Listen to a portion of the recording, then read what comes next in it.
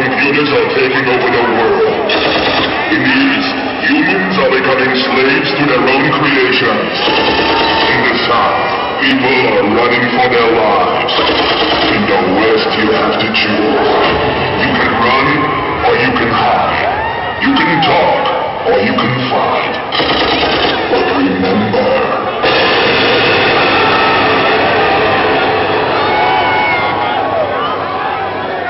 everything say can and will be